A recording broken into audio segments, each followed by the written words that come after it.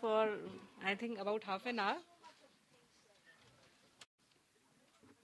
Professor and Head Dr. Y.S. Uh.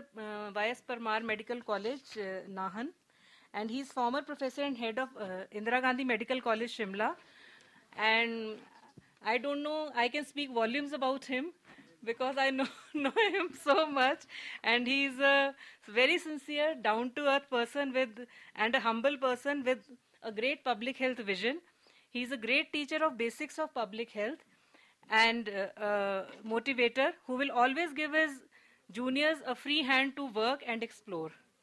We at the Department of Community Medicine, Indira Gandhi Medical Sho- uh, College, Shimla, will always be indebted to him for his great vision for the growth of community medicine department. A big round of applause for him. Our second chair is Dr. D.S. Dadwal,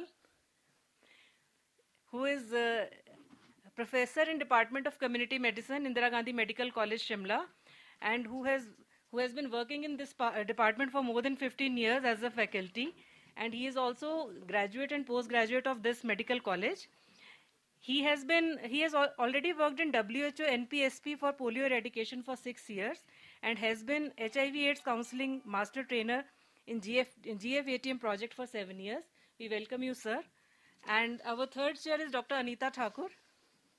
She's associate professor in Department of Community Medicine and she has served in HP Health Services for uh, 14 years and then she came into Department of Community Medicine and she is here in faculty in Indira Gandhi Medical College Shimla for last 10 years and her research interests include research on prevention of cervical cancer and she is uh, currently working as PI in cervical cancer training uh, screening program uh, screening project and is also master trainer of population based screening in Himachal Pradesh.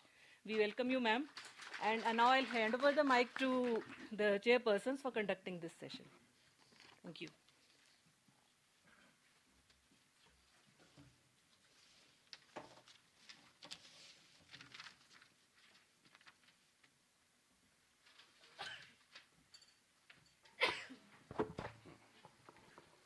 Thank you, Dr. Anupam, for good words. And this is a very interesting topic, which that new curriculum for MBBS students given by MCI. And uh, between this topic and us, a known personality is there to speak on the topic. Dr. Pradeep Khanna, Senior Professor and Head of the Community Medicine, Pandit B.D. Sharma, PGIMS Rohtak. He lives in the hearts of all community medicine members. I do not need to introduce him. And uh, we all know Dr. Pradeep Khanna. I invite him to the dais.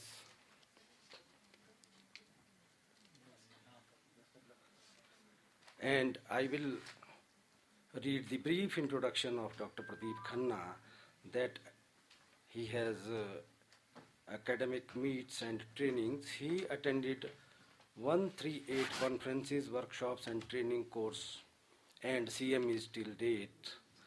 And he chaired and moderated 42 scientific sessions during these conferences and workshops. He is a national trainer on infant and young child feeding counseling.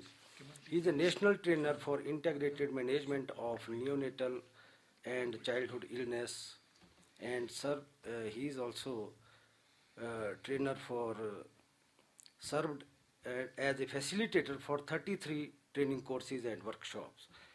He has received awards in uh, received healthcare excellence award for uh, teaching excellence in community medicine during indo global healthcare summit and expo 2014 at hyderabad and his contribution in training courses and material books. He has uh, uh, contributed in training course uh, material on infant and young child feeding counseling. And he has written a chapter on epidemiology of glaucoma in first edition of the book entitled principles and practice of glaucoma and his contribution in state level committees he is a member of state level coordination committee of icds scheme in haryana. And he is a member of advisory committee of anemia control. And he is a member of state task force on immunization and child health. He is a member of state committee on adverse events following immunization. His contribution in research and Generals. he is a member of national editorial advisory board of uh, indian journal of public health and research and development he is a member of advisory board of uh, Indian Journal of Community Medicine and contributed 121 search papers. So it is uh, his uh, brief CV and uh, now I request uh, Dr. Pradeep Khanna to deliver his uh, topic. Thank you, Dr. Majda. Well, greetings from Haryana for all of you sitting in the audience, learned chairperson and uh, the learned audience. Well, I can see many faces who are possibly as experienced or maybe more experienced than what I am in the field of community medicine. But the conference organizers were kind enough to give me the assignment of sharing the competency based undergraduate medical curriculum in India. So let's see how it works out. Now, where is the need for the change? Maybe if you can recall, one of my colleagues sitting in the audience right now, Professor Goel, had delivered an oration on this very topic. That was on day one. But this is what is the prescription from the regulations given by Medical Council of India. So regulations on graduate medical education were last notified in the year 1997 and we are sitting in 2019. So the felt need for adapting these regulations to the changing demographic, socio-economic context, perceptions, values and expectations of stakeholders. You will agree with me that change is the only thing which is constant and change is always for better things to happen. And there are always challenges when any change is implemented. There are always, you know, hiccups which should be taken as opportunities for us to work on those challenges. Now, if you see what was there in 97 regulations and what is there in the latest document, the comparison would bring it out that the 2018 regulations have virtually evolved from the basic principles which were enshrined in the regulations of 1997. And I'm sure all my colleagues from the community medicine discipline know them all. And I'm sure they are well conversant with this document, which is very much available on the website of the Medical Council of India. See, now the basic philosophy with which these regulations are being brought in is the ability to recognize health for all. You know, even long back we said health for all by 2000, but the vision was not, uh, you know, gone through the way we desired it to happen. So it the curriculum has been updated, keeping in consonance the changing health needs of the country. You know, the lifestyles keep on changing. The time I was born, the diets keep on changing, the gadgets keeps on changing. So the health profile and the disease profile also keep on changing you know, from the communicable uh, diseases era, we move into the NCDs, and now we talk a lot of NCDs. Uh, when I was born, there was nothing like junk food. Uh, now there are so many foods available.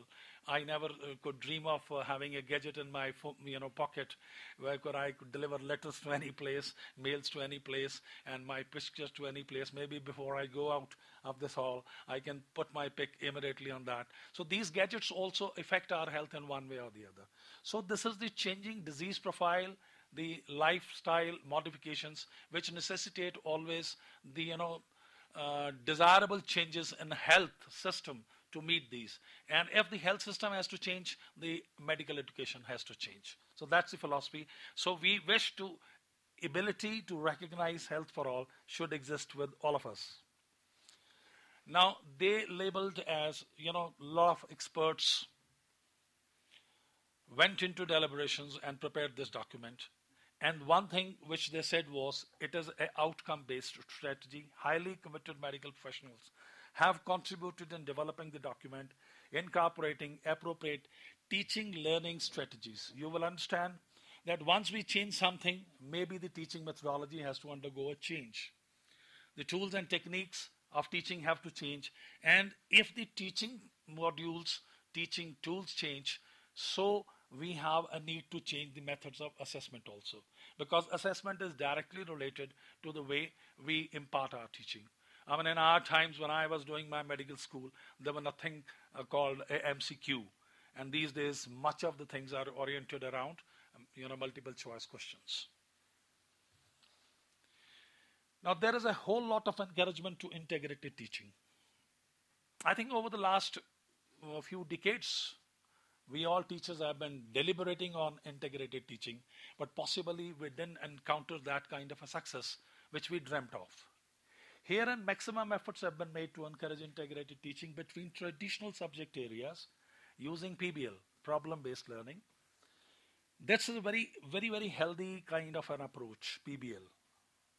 And we do it in our department at least with our postgraduate students. Starting with a clinical or a community case and exploring the relevance of various clinical disciplines and understanding and resolution of the problem. I can assure you, if there are problems, there are always solutions. I, I believe in the dictum. When I was a child, I used to read, Where there is a will, there is a way. And I say, Where there is a will, there are more than one ways available. The only thing is, you have the intent to counter it, to face it, and to explore further. Now, they want to de emphasize compartmentalization. Very sincere efforts have been made to de emphasize compartmentalization of disciplines so as to achieve both horizontal and vertical integration in different places. When, as a student, I used to be taught on tuberculosis, I used to wonder how many departments talk of tuberculosis. So that used to, you know, strike me as a young boy at that time in my early 70s that why tuberculosis is not taught by a panel of an experts of all the subjects who teach me tuberculosis. And that you know community medicine is uh, one subject which i believe and i'm not saying so because i come from community medicine it is attached intimately with all other disciplines. There cannot be a discipline which doesn't need the prevention. So we are a part of virtually all other disciplines which are started during undergraduation or maybe in post-graduation. Now this is something which has been given special attention. In short, they have labeled it as AETCOM, sir. Attitude, Ethics and Communication. I strongly believe that communication has to be the strong weapon of any medico. You know, words, the way they are spoken, are sometimes more important than the content we indulge in. So, ethical values, responsiveness to patients' needs, and acquisition of communication skills is under, underscored by providing dedicated curriculum in the form of longitudinal program based on attitude, ethics, and community com- competences. And this has been labeled as AETCOM. And this is available with this latest curriculum. Now, they say this is one big example of interdisciplinary teamwork. You know, nothing. Team stands for together, everyone achieves more. If you take the first letter of the word team, together, E, everyone, A achieves, M more. You know, when we lose matches, we talk of team, that the teamwork was excellent, team spirit was excellent. If we lose a match, we criticize the team spirit and the teamwork. So it's always a team, and medical profession is definitely a teamwork. So great emphasis has been placed on collaborative, interdisciplinary teamwork and professionalism with due sensitivity to differences in thought, social and economic position and gender. There is something called foundation course imbibed in it. An attempt has been made to allow students from diverse educational streams and backgrounds to transition appropriately through a foundation course dedicated time has been allotted for self-directed learning and co-curricular activities. I can assure you, if you wish to learn something, I give my own example to my friends that I learned driving by observing my drivers who were driving the vehicles. Uh, this is the way he pedals the clutch, this is the way he pedals the brake, this is the way he looks after the steering. And slowly and steadily, I started developing a confidence. And one of my chairpersons, he was also referring to this yesterday that his daughter learnt the driving art sitting next to him as a conductor. You know, most important is if there is a self-direction in learning process. You can take a horse to a pond, you can never force it to drink water. We have to make sure that I want to learn this, and students have to have this kind of a philosophy in their minds.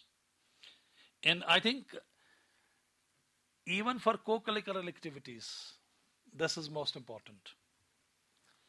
Then what about curricular governance and support? Formative and internal assessments have been streamlined to achieve the objectives of the curriculum.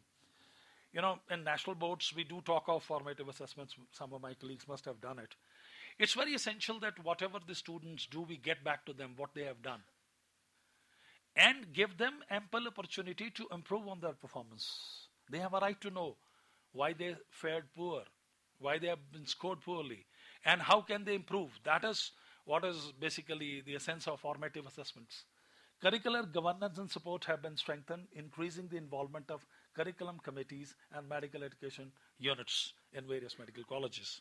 As per the prescription of Medical Council of India, all the medical schools where um, I think we have more than 450 plus. Am I right, Dr. Goel? We have more than 450 colleges in our country. And uh, I always say India is not a country. We are a country having so many countries. We, you know, um, 130 plus crores of population, virtually holding on to one sixth of the globe. So once we talk of country, we talk of one sixth of the globe as kind of a thing. You know, nearly 17% population resides in this magnificent land of ours. So all the medical colleges are supposed to have mandatorily a medical education unit. And in fact, there are some colleges where people have opted full time working into the medical education unit. I myself served for six years as coordinator of the medical education unit, where the teachers are trained on the latest technologies in medical education. And the curriculum committee has a very important role. You cannot continue with the curriculum which was designed 20 years back. It has to keep pace with the changing needs of the community. Now, what are the qualities which are being anticipated in now we start calling as Indian medical graduate?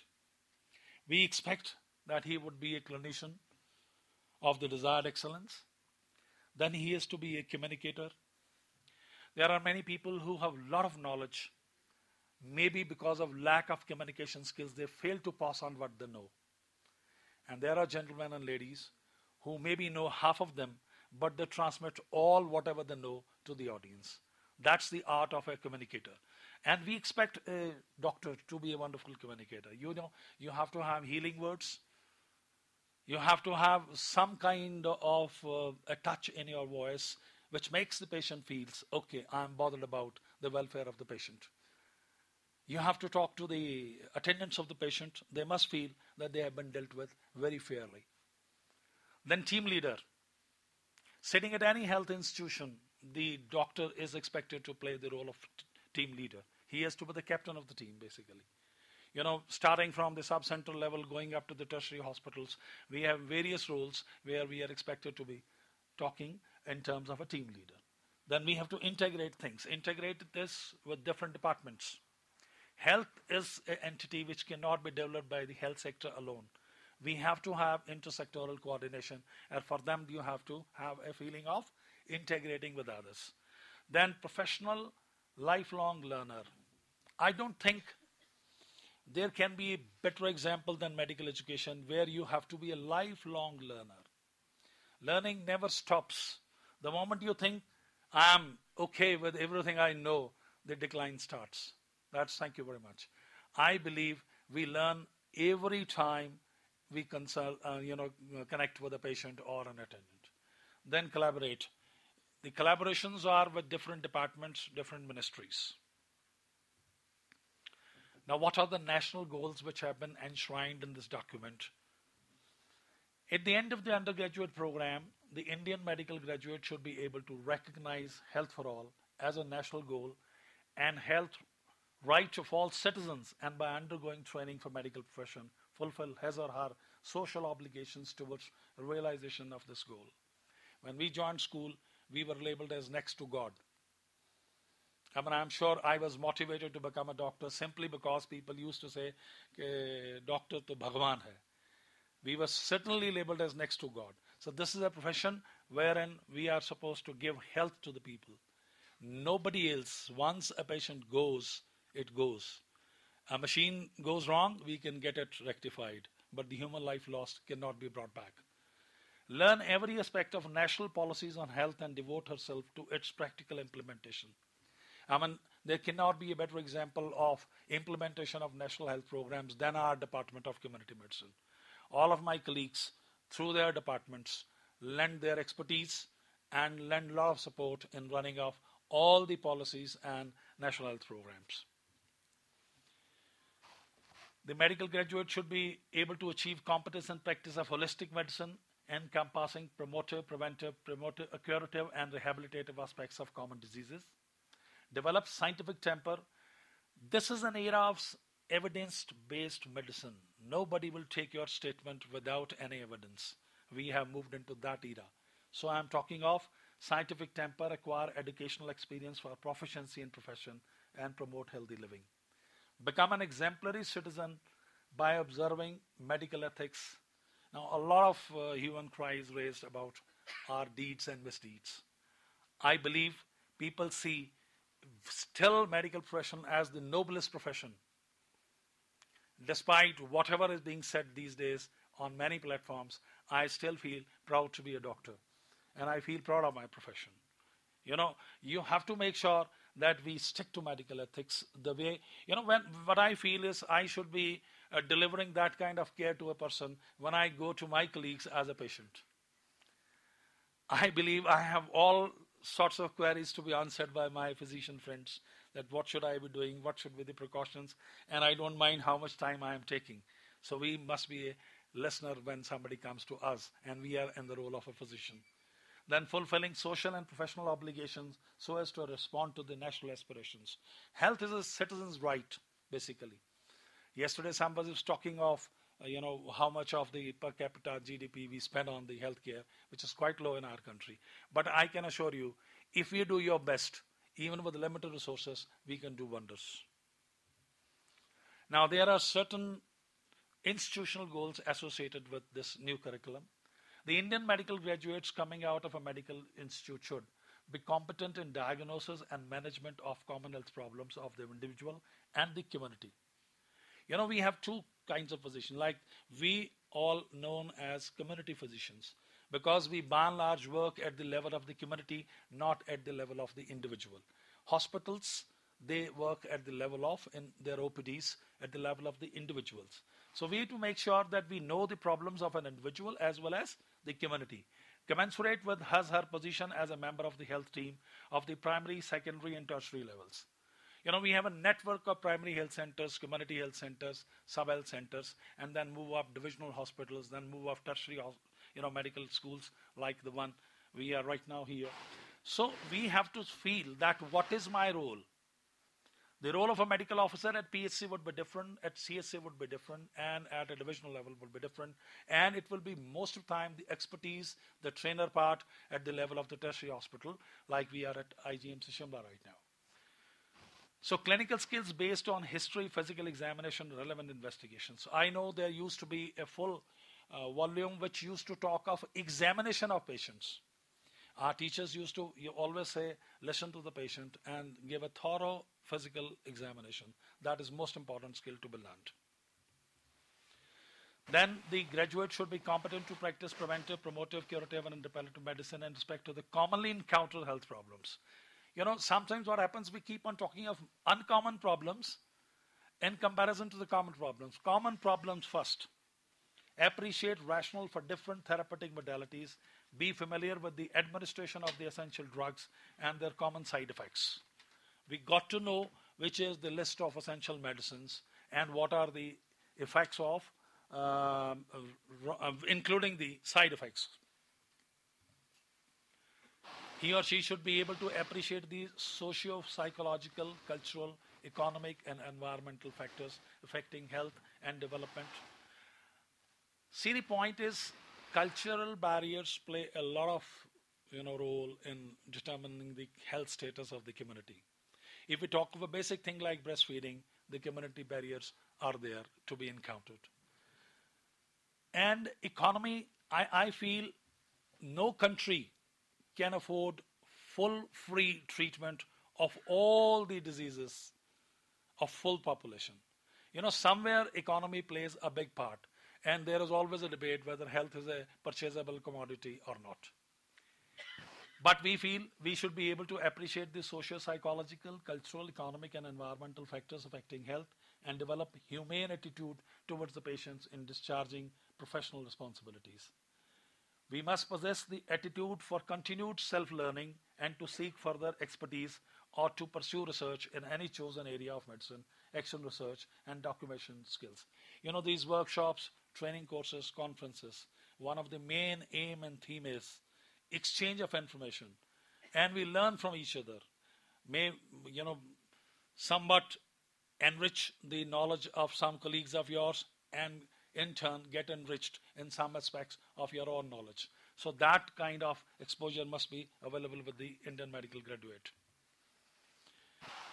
the Indian medical graduate may be familiar with the basic factors which are essential for the implementation of national health programs, including practical aspects of family welfare and maternal and child health, sanitation and water supply, prevention and control of communicable and non-communicable diseases, immunization, health education, Indian public health standards at various level of service delivery, biomedical waste disposal, organizational and institutional arrangements. It's not only the theory part I'm saying he or she should be well equipped with the practical application of all these things. Because if I know theory and I'm not able to apply it in the field situations, which is essential for the community, the theory knowledge will go waste. I must know how to replicate into exact field situations. And for that, the need is that they should be well equipped with the skills to put their knowledge of theory into practical skills. We expect the medical graduate acquires basic management skills in the area of human resources. Now, management is a whole lot of subject altogether. You know, there are a lot of uh, things which are said about management. Uh, if something goes wrong, we immediately pinpoint uh, the management was not okay. So, the management skills, uh, in fact, there is a module for the medical officers which was brought out long back by National Institute of Health and Family Welfare, which talks of management itself. Then materials and resource management related to healthcare delivery, general and hospital management, principal inventory skills, and counseling. We must know what to have with us, what not to have with us. The medical graduate should be able to identify community health problems and learn to work to resolve these by designing, instituting corrective steps, and evaluating outcome of such measures. Sometimes we may put a solution which may not work. Okay, we must have an alternative solution in mind. If this didn't work, believe me that experiments, if they fail, even that's a lesson for us. You don't always start with an experiment thinking is to be a success all the time. The medical graduate be able to work as a leading partner in healthcare teams and acquire proficiency in communication skills, which I already spoken of be competent to work in a variety of healthcare settings. If I'm posted in one college, I'm posted in another college, I'm posted in third college, or I'm posted anywhere at the state headquarters, I'm looking after a program, I should be able to deliver my best in all the settings. Not that I cannot. The work should be I can. And so the medical graduate should be able to work in the variety of settings. And some of you have, you know, varied experience of working in different uh, you know, states of the country, with maybe having different cultural backgrounds also. Then have personal characteristics and attitudes required for professional life, including personal integrity, sense of responsibility, and dependability, and ability to relate or show concern for other individuals. We should be looked upon as somebody, okay, who's bothered genuinely about the health of the client who's coming to us. That's the kind of philosophy of the medical profession. Now, what is holistic care? We always talk preventive, promotive, curative, palliative, and holistic care. You know, why should it come to curative? And why does it come to curative? Because preventive is not given the emphasis it deserves. How many of us go for annual checkups of our own? I'm talking of myself, it includes me. How many of us go for our regular dental checkups? I'm talking of us, including my own.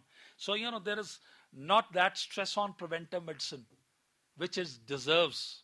So that is why more and more need of curative services and rehabilitative palliative arrives. Then communicate with patients, respecting patients' values. That's very important. When you talk to somebody, I always give an example that if somebody seeks your advice, uh, what happens that most of us, uh, that includes me, I am not an exception. Somebody talks of me, I become an advocate. Somebody talks of another person, I become a judge straight away. Don't judge others immediately. Somebody asks for your advice, say, if I were in your shoes, I would have done it like this. So that would not hurt the other person. Don't pass a judgment that he was wrong. So you have to respect patient's values. The patient comes and says, I took this, I took this, okay, fine, fine, fine. Don't try to tell him you don't know anything.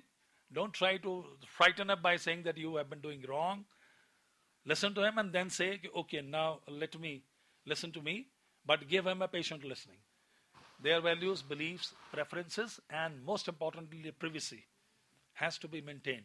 And the medical graduate has to be trained like this.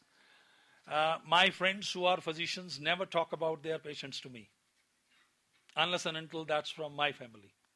And I, I enjoy that, that they keep confidentiality about the patients they treat.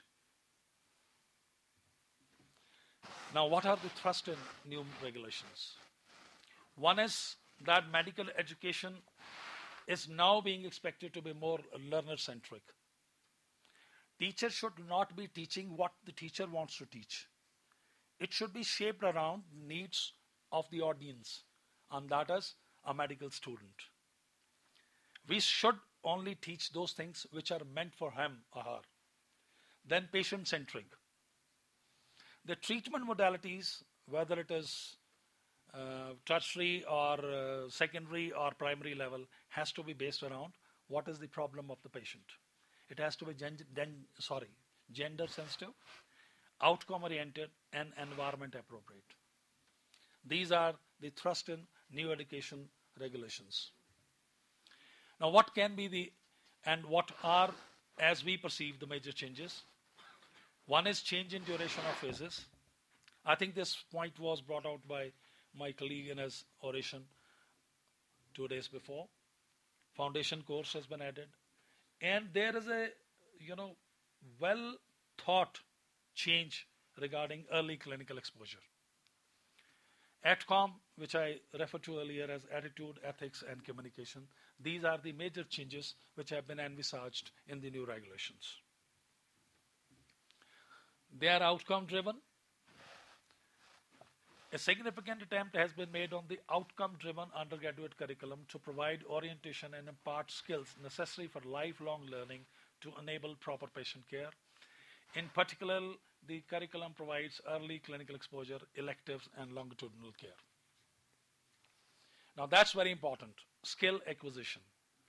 Skill acquisition, you will all believe, is an indispensable component of the learning process in medicine. I mean, even examination is a skill, auscultation is a skill. You talk of anything, procedure, it's a skill. The curriculum reinforces this aspect by necessitating certification of certain essential skills. A particular number of certifications have to be done for each and every component. The experts have factored in patient availability, access, consent. You can't draw my sample, blood sample, without obtaining a valid informed consent these days. Number of students in a class in suggesting skill acquisition and assessment methods.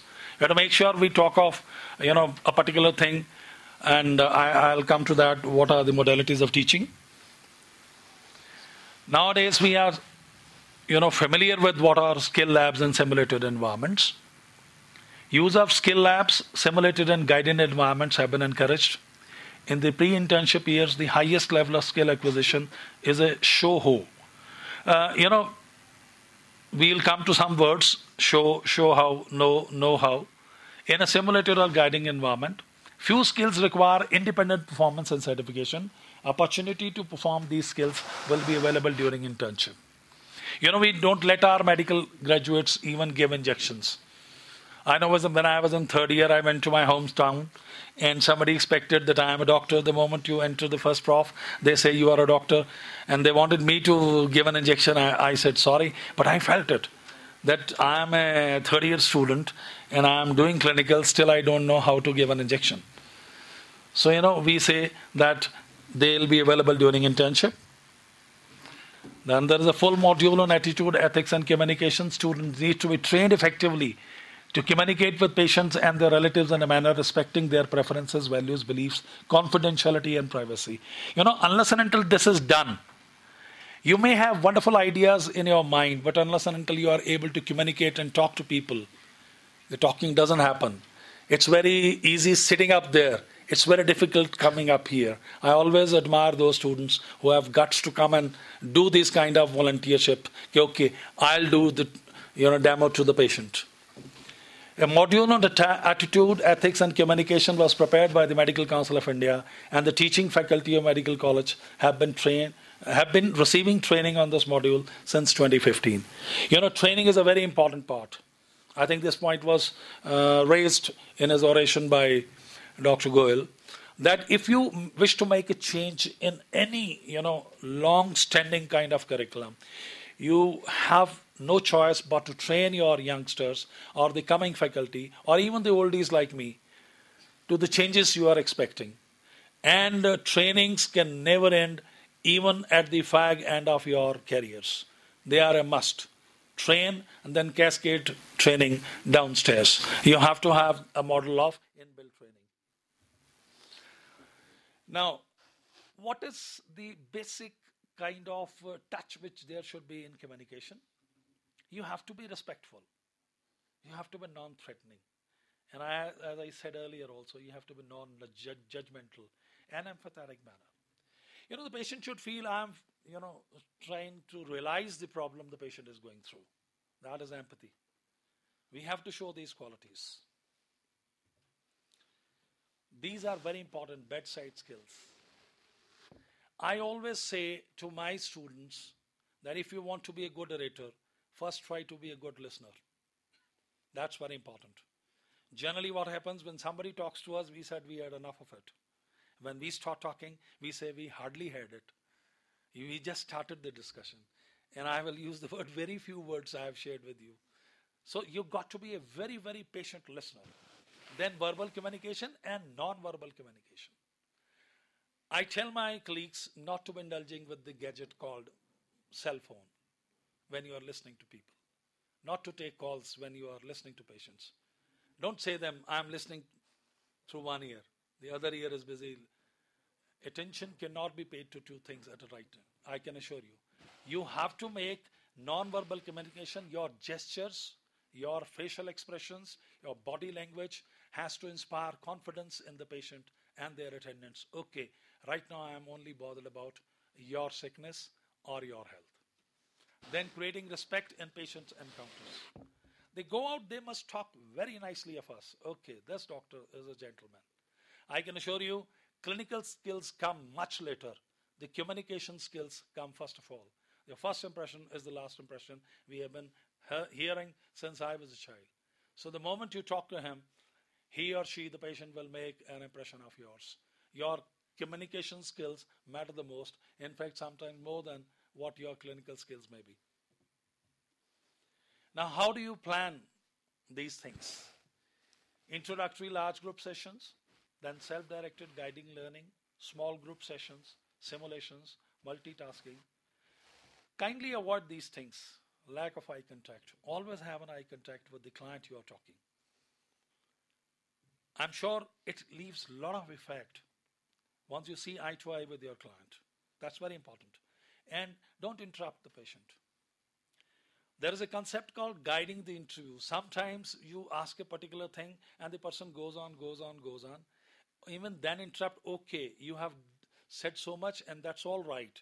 Now maybe come to this and have your response on this. This is called guiding the interview. Don't ever interrupt and saying, say, enough of it here. Now come to this point. Don't say this. This hurts. They are not as educated as we are. So we must learn how to interrupt them politely and bring them to the path we want to have them. Then these are the domains I was talking. The medical graduate has to understand. There are certain domains, subjects where he has to know. Then there are certain subjects and topics where it applies, knows how. Then there are certain subjects where it works as shows, uh, certain subjects where it shows how, and there are then finally performs independently. You know, if you will look into the website of Medical Council of India, a whole lot of document is there for all of us. Anybody can, uh, you know, see that the way I saw it, and the words will be written like K, K, H, S, S, H, and P. Certain skills are needed. We must be able to, you know, impart indication in a way that the medical graduate is able to enumerate, describe, observe, demonstrate, and assist, and finally perform independently. Now, these are the suggested teaching learning methods. One is lecture, which is didactic lectures. We call it popularly theory lectures. Then a small group discussions. Um, they become more meaningful. You know, in a medical school which has a you know student strength of 200, the effectivity of uh, lectures sometimes comes under a cloud. And I see my colleague Mohan Doble nodding his head that it's not easy to be speaking to 200 and catching the attention of all of them. So small group discussions, they have a role. Then, you know, uh, in our community uh, medicine teaching, we take our undergraduates to hospitals and various hospitals. We show them how a subcenter functions. We show them how a primary health center functions. In their field visits, we show them how a CSC functions, how a divisional hospital functions. Obviously, in our own hospital, we take them to many places like immunization clinic, and we show them even the civil surgeon's office to let them know a feel of the administrative uh, kind of problems they are likely to encounter when they become medical officers. Then bedside clinics. Bedside teaching is very important. Patient is live there. They can elicit the signs and symptoms under the guidance of a senior person. Then debates. They must be encouraged to talk. They must be encouraged to talk. Never stop a person from asking questions. Never stop them. If you don't have an answer, be honest. We'll come back to you tomorrow. There may be instances when we don't know the answers. We cannot be the end all of all information on one subject. Then DOAP sessions is popularly called it. It, it goes as demonstrate, observe, assess, and perform. And this is a very valid kind of teaching and learning method. Then assessment methods. One, since time immemorial, we have been writing our papers and they are evaluated. Written what transparency of assessment is. Now we have fictitious roll numbers pointed out in the theory papers at most of the places. So we don't know whose paper it is being evaluated. Then Viva. Viva should always start from easier things and go on to the difficult ones. Never start with the most complicated things. Then skill assessment does something. You know, we ask the students to make slides. That's a skill assessment. We ask them to give injectable. It's an assessment. Why? And even, you know, demonstration for a contraception, I call it as a skill because communication skill is being used. Then short notes. We have essay type questions also. We have short notes also. These days, there are certain universities which have incorporated even one liners in their question answers. Then documentation. This is very important. Logbook practical logbook must be there with all undergraduates. Whatever practicals they are done, they have to make a sincere and honest record of this. And then observation by the faculty. Unless and until we keep on observing our students meticulously, it's not easy to ensure their fullest participation. Teacher taught must have kind of a combine that, okay, this is what we plan, and the lesson plan should be done in consultation with the students. Now, final part of the you know is that what they have talked about integration of subjects. Alignment and integration of subjects both vertically and horizontally while respecting the necessity and strength of subject based instruction and assessment. This is not very easy to be doing as it takes for me to be speaking. Now, the example is I'm talking of community medicine because we are sitting in a national conference of the preventive and social medicine. Health hazards of air, water, and noise pollution, when we talk on community medicine, we need a physician's help to be enlarging the way Medical Council of India now envisages under the new regulations. waterborne diseases, nutrition, basic stats and its applications. These are some examples where I've cited one department that we need to, you know, take on board the people from medicine department. Similarly, with epidemiology, communicable and non-communicable diseases, geriatric services, disaster management, we need our colleague faculty from the Department of Medicine to be on board with us. If we talk of pediatrics, waterborne diseases, nutrition, again basic stats and applications, communicable and non-communicable. But add one more is reproductive, maternal and child health. You know, if we talk of basic maternal and child health care, only three departments are involved. That is obs and gynae, pediatrics, and community medicine. So pediatrics also has a big role once we talk of community medicine. Obs and gynae, demography and vital statistics, reproductive, maternal and child health. We need to have their support with us when we talk on these subjects. Now, what are the subjects vis-a-vis community medicine expected to go and help them? Community medicine shall have to integrate with physiology, you know, biochemistry, pathology, microbiology, pharmacology, forensic medicine, toxicology, dermatology, venereology, leprosy, ophthalmology, psychiatry, general medicine, obs and gynae, pediatrics, general surgery, respiratory medicine. Can you see any other department where the role of community medicine is not anticipated? Somebody wants to talk of a contraceptive in physiology, they'll call us. So we have, in fact, uh, vis-a-vis uh, our other way role is more important. We have to contribute in a big way. Sometimes I share with my colleagues that we should be merged. One of my uh, faculty is sitting here. I tell them we should be deputed to other departments, all of us, including me, and we should go and play our role there effectively because the clinician may not be having enough time to be talking of prevention and what, what else we do in community medicine. So I come to the last slide. Summing up, the manual on competency based undergraduate curriculum for the Indian medical graduate is intended for curriculum planners and an institution to design learning and assessment experiences for the MBBS student. Now, that's not an easy call. That's what my worthy learned colleague Goel was talking the day before. I, I think uh, on the first day, you were trying to raise these points. But I always feel, and I have a considered opinion, and I have a right to my opinion, that okay, given the will, anything can be done. We have seen changes which were just not thought of, which was not dreamt of, but they happened. Same way, I strongly believe that it is a challenge. Of course, I do, do, do ditto my colleague. It's a challenge for all of us to sit off there. You know, we have a curriculum committee in all the medical colleges. But it is for the faculty like you and me to sit and accept this challenge and make our own design. How are we going to implement it? You will agree with me, not all the medical schools have a uniform way of teaching. Every institution has certain good, very good points of their own and maybe lacking in some points.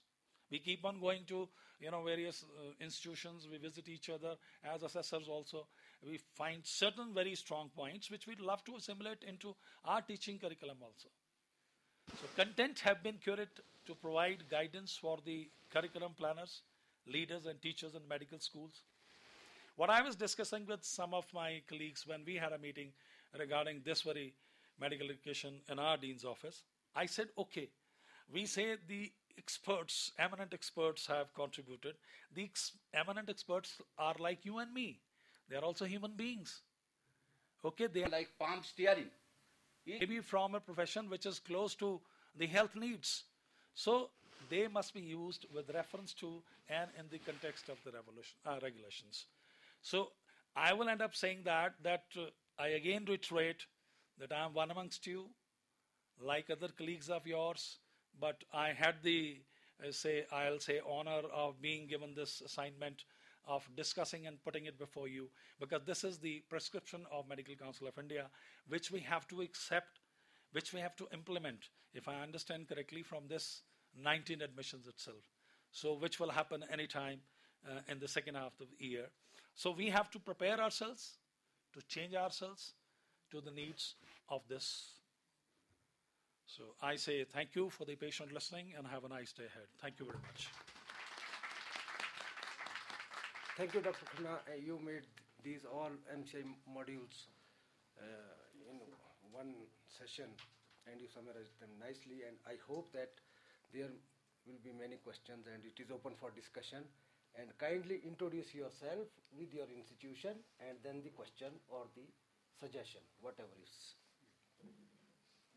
Please.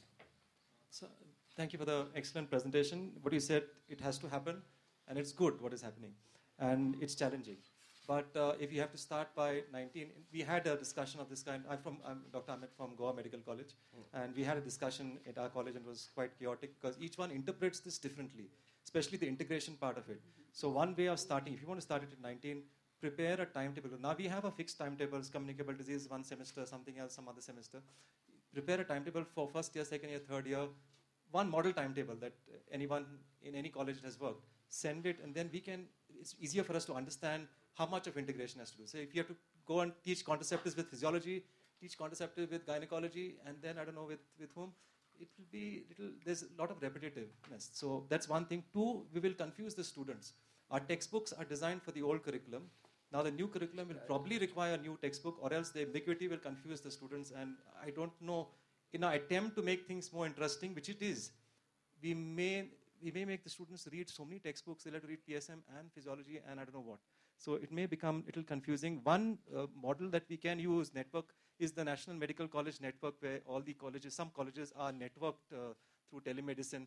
So to bring about this uniformity and uniform understanding, we can use that uh, platform to do that. And it has to be done fast because I tell you, from my side, there is confusion. We want to do it, but we don't know how to do it. Thank you. See, as I said to you in my earlier words, that I am also one like you. But we will sit there and find out the solutions. It takes time. You know, change always sinks in after a little bit of time. We have learned faculty at most of the medical colleges in our country. And I'm sure if they meaningfully sit together with an intention to find out a way, the way will come out. You know, we interact many times. We take the students in our department to pediatrics department, to gynecology department. Uh, you have to have a personal rapport with the chiefs of the other departments to make integrated teaching happen. It doesn't it doesn't happen most of the times because we have never, you know, strongly will to do it. I'm not a defendant of this because this is not being produced by me. This has been produced by Medical Council of India, and I will be as much a user of this like you. But I, I find books are the same. I mean, even I read so many books which are not from community medicine. Sometimes we talk of family medicine, so I have to read books which are not essentially community medicine books. You know, I I have to read for hospital administration, which may not be essentially a book on uh, community medicine per se. So books will remain the same. It's only how we, you know, can put it together. And uh, I always say that books are your best teachers, and teachers are best at making them clear to the students. We make the comprehension much more accessible to the students. So that is why teachers are required. Otherwise, everybody can read the book. So that's our art and challenge, how we will assimilate it. I do accept, and this is what I said. My friend said, it's a challenge. But you got to go ahead with it.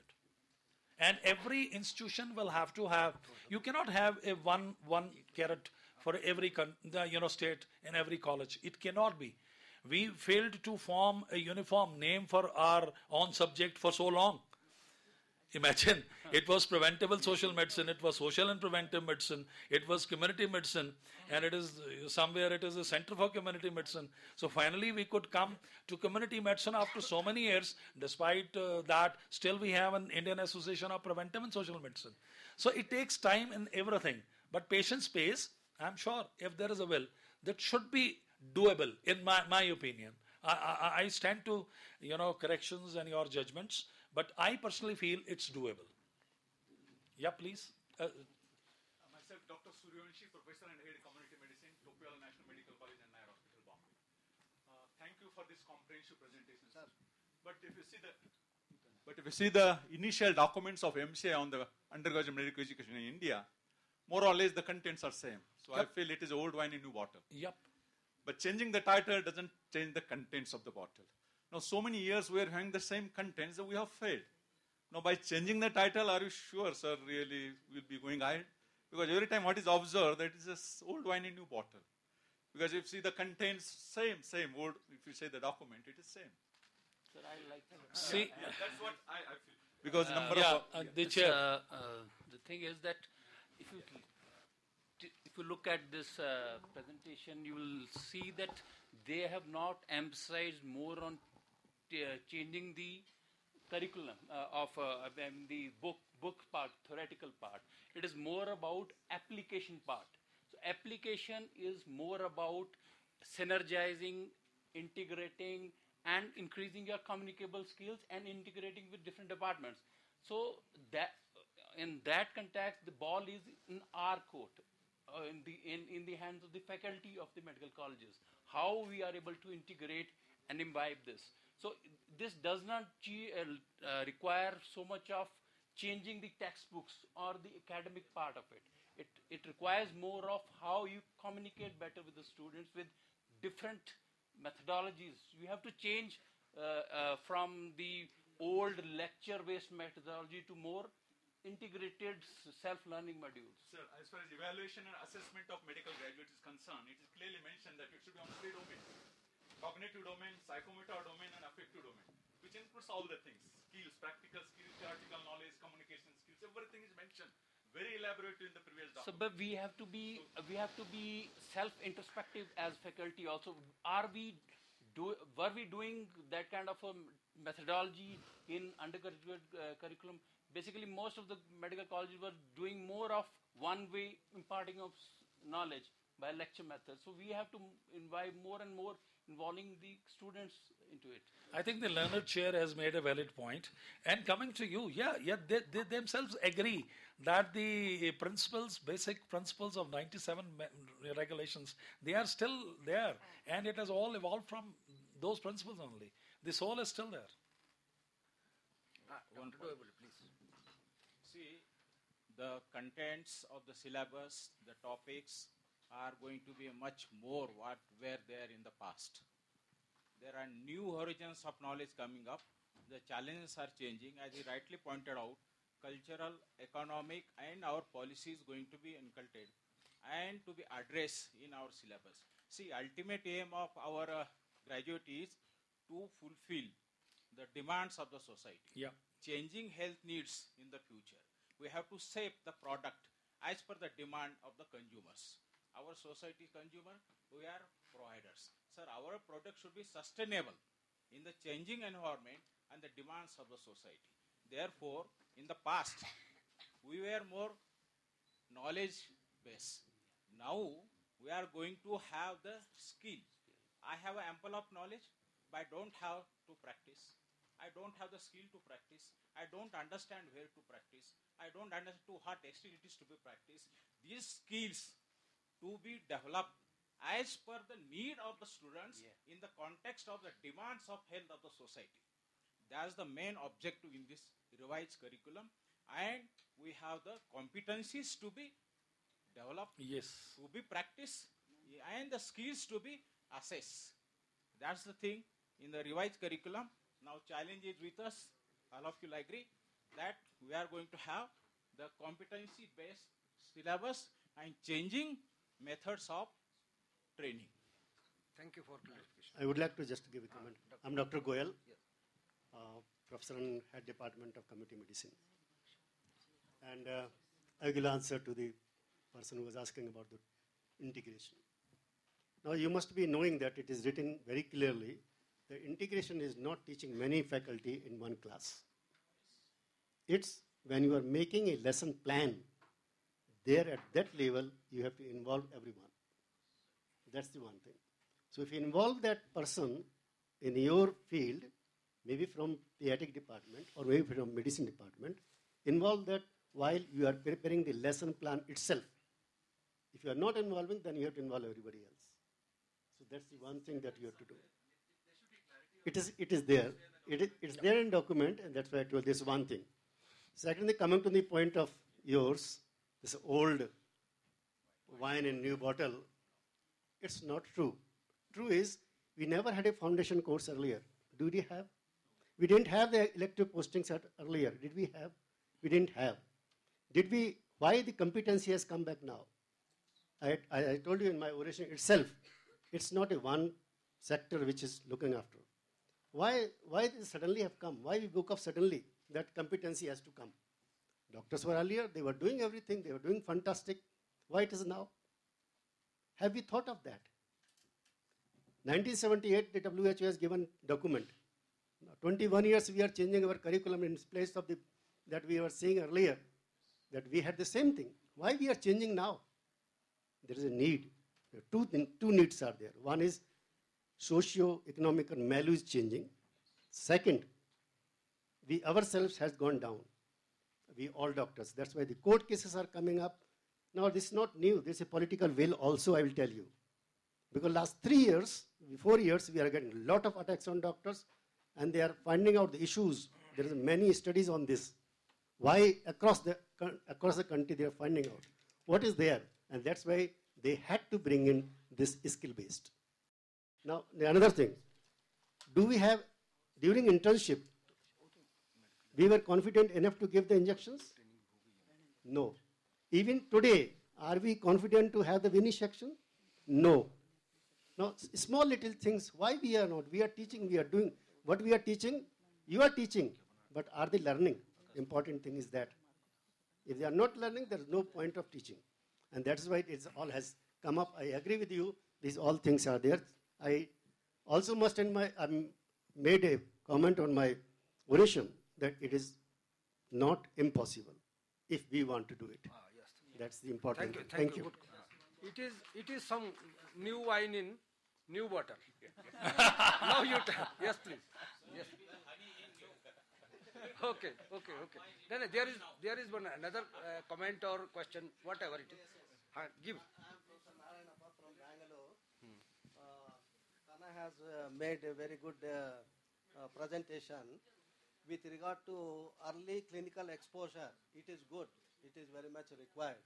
But uh, in the hospitals, you know, the in some hospitals the bed occupancy is very poor. So the clinical students, uh, those who are posted in medicine, they also come.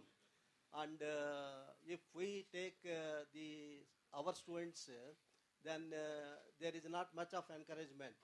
So there will be some sort of setback. What I feel that there will be some sort of uh, setback uh, with the clinical, uh, early clinical exposure. That is one thing. And uh, as far as the uh, coordination is required from the clinicians, uh, it is we, we are finding very difficult to get the coordination encouragement from the clinicians. Don't mistake me.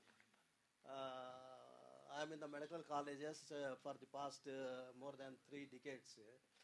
There is not much of cooperation and encouragement from the uh, clinical side, even for the integrated teaching uh, or whatever it may be. Dr. Khanna. So these are the setbacks. I am talking. Sessions are good, but these are the setbacks that what, uh, uh, like me, in the many medical colleges, the professors are facing these problems. Yes. Sir, with due regards and apologies, I strongly feel that if we are on an optimistic mode, this all is doable, like Goel was saying right now. And uh, I think the word impossible, it says, I am possible. If you split it, it says, I am possible. I, I have a personal opinion of mine as a medical faculty, and I am on the faculty since 1985, that okay, we can do it if all of us, we have a collective kind of a commitment to do it. And uh, like Mons was saying that, okay, we all have the competence to put it into practice. That's my take. And I'm, you know, I'm not uh, from the Medical Council of India. This is the prescription of Medical Council of India. I'm only conveying what they expect all of us, including me, to be unfolding. Now we are working for our universities. Yeah. Okay. Sir, as far as evaluation and assessment of students is concerned, okay, fine. But what about the evaluation and assessment of the teachers, medical teachers? It is nowhere mentioned. See, see, uh, uh, let, let, let me, let me give it. Uh, see, we are, uh, you know, I, uh, as I said, uh, with, sir, just a second. Let me answer him. Yeah, as I said earlier, the experts are like you and me. I mean, they are also human beings from the fraternity we belong to. we can always put forth suggestions that these should be, you know, there is always uh, what I say, the mandate of Medical Council of India generally talks of minimum. You can always go beyond those minimum requirements. You can always upgrade what you feel. And in fact, in our university, where two of my faculties are sitting, there was a strong echo of this demand that medical teachers should be assessed by students whom we teach. I should not be grading my officers in their annual confidential reports. It is the student community who should be recording our ACRs. They'll agree with me, Dr. Jain and Dr. Varun Arora, that there was once this kind of a movement in my institute, which is now, of course, a constituent college of our health university. Thank you. Thank you, Dr. Khanna. And this is an unending topic. So we are all teachers and uh, we are uh, supposed to close it well in time. Thank you very much. Thank you very much for your input. Okay, okay. May I take my... It is Dr. Anupama only. If she allows, uh, no problem. But now it is closed. Huh? Sir, sir, huh, please give mic to... Uh, you come, come, come forward. Come, sir. Come, sir.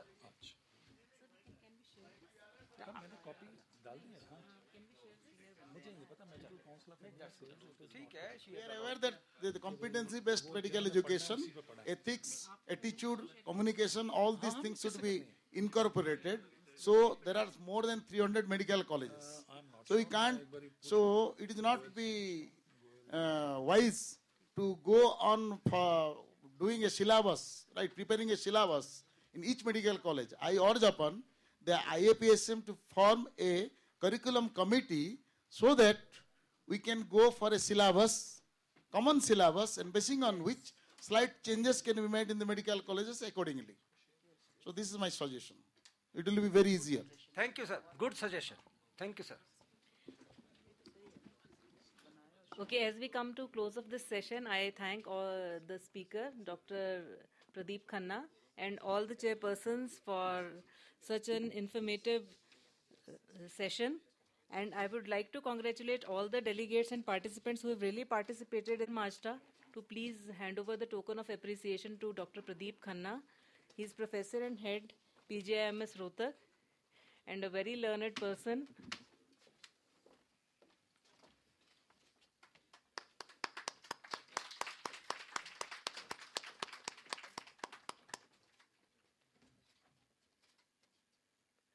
May I request Dr. Goyal to please felicitate Dr. S.R. Majta, our chairperson. So please stay on the stage for photograph.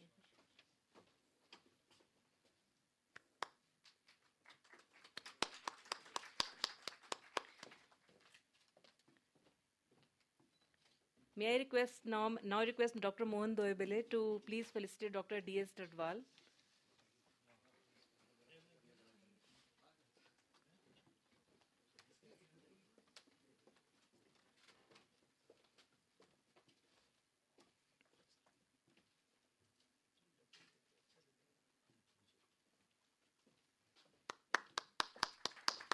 I request Dr. R- Dr. Rashmi Kundapur to please felicitate Dr. Anita Thakur.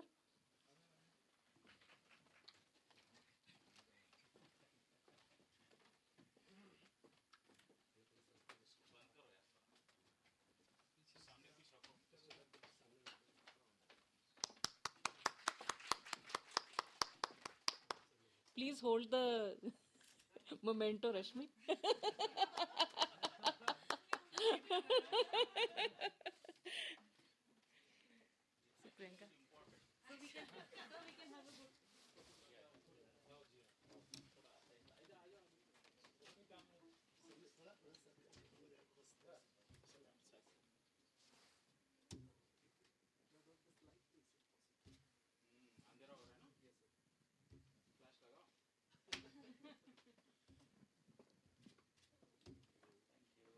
sobre todo.